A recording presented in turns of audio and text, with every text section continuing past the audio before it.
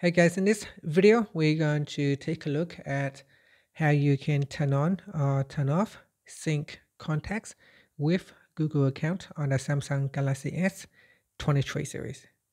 First tap on the home button to return back to the home screen.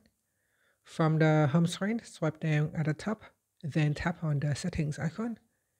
In the settings page, scroll down and tap on accounts and backup. In here, tap on Manage Accounts. Then go down and tap on the Google account. Next, tap on Sync Account.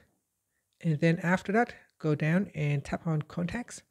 Tap on the toggle button to turn off or turn on Sync for contacts. This will sync your contacts to Google account. And that's it. Finally, you can tap on the home button to return back to the home screen.